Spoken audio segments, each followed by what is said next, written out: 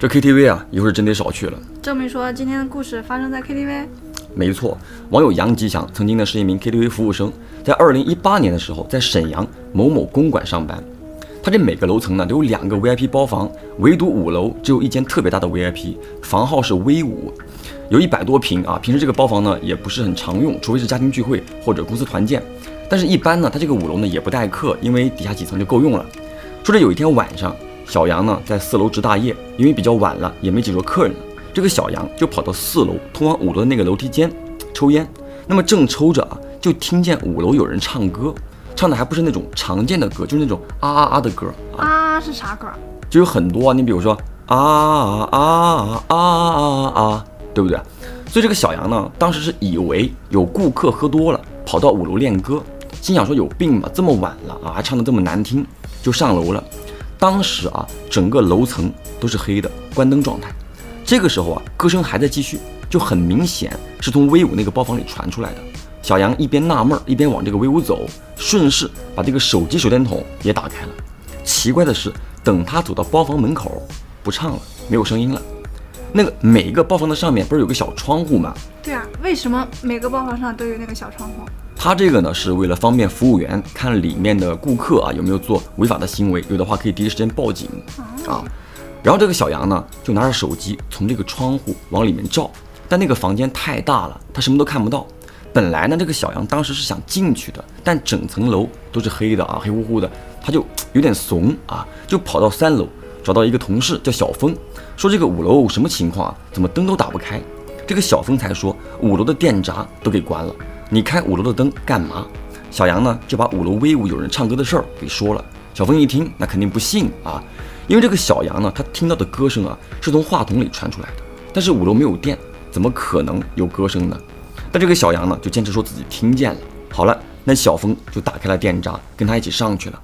那么一到威武一看，麦克风里连电池都没有，当时这个小杨就慌了。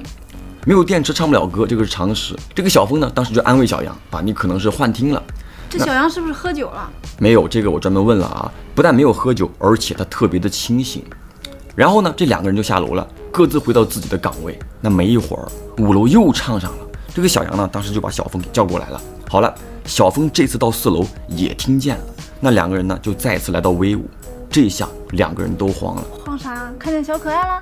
小可爱倒没有看到，但是。他们看到啊，那个麦克风跑到沙发上了，并不在麦架上，而且呢，这个沙发上有一个很明显的坐下去的痕迹，就那种皮沙发，你知道吧？就是坐久之后呢，会有一个印子，啊，那还不赶紧跑？就跑了呀，两个人就特别慌张的跑掉了。那么第二天呢，经理来了，就把这个事儿一说，经理呢就把监控给调出来了。他这个监控呢就蛮高级的，带那种夜视功能，而且呢还带录音。好了，这个监控里啊，一看威武呢是一直没有人进去的。直到小杨趴到那个窗户那儿，后面的监控内容呢，就跟咱们刚才讲的一样，但是就只能听见小杨和小峰说话，听不见唱歌的声音。然后这个经理呢，就嘱咐两个人啊，说你们千万不要把这个事儿往外说。那么当天晚上呢，经理没有走，那唱歌的声音又来了。经理啊，就带着小杨他们一帮人在四楼通往五楼的楼梯道那儿就集合了。当时电闸是开着的，不过灯都没有开。那么一帮人就走到威武门口之后。啊，里面又不唱了，就当时有一个胆子比较大的人啊，就特别虎，就直接一脚把门给踹开了，然后把灯给打开了，其他人才进去。那么进去之后一看呢，空荡荡的一片啊，什么都没有，而这个麦克风就放在桌子上。当时那个胆子比较大的人可能就想装一下，你知道吗？在经理的面前嘛，就破口大骂，各种阻拦问候。正骂着，包房的门忽然间砰的一声就给关上了。吓得一伙人呢，就猛地一激灵啊，就赶紧回头瞅。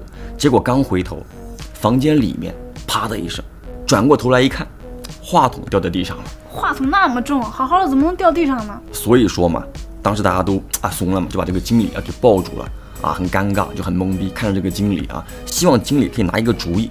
那结果你猜经理怎么着？怎么着？直接认怂了啊，直接一个鞠躬啊，那打扰了，打扰了，对不起，对不起，走掉了。完事儿第二天啊，就那个胆子比较大的服务员就开门还骂人的那个就发烧了，三十九度多，人都烧迷糊了。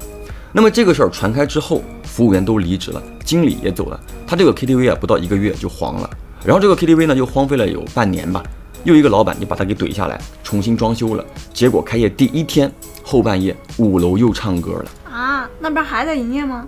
啊，没有营业了，就已经呃也倒闭了，也倒闭了。那据网友说呢，现在这个地方呢就改成了洗浴，而且呢生意还蛮好的。为什么洗浴就生意好？那不一样呀，你说这个 KTV 常年不见阳光，对不对？而且呢你换了一个行业啊，这个气象呢就变了，说不定你这个洗浴的老板就比较懂行呢，对不对？找人做过功课呢。你这说的，我这以后都不敢去 KTV 了。那 KTV 真得少去啊，那太贵呀！我靠。好了，我是老飘，我是蛋蛋，下个故事见。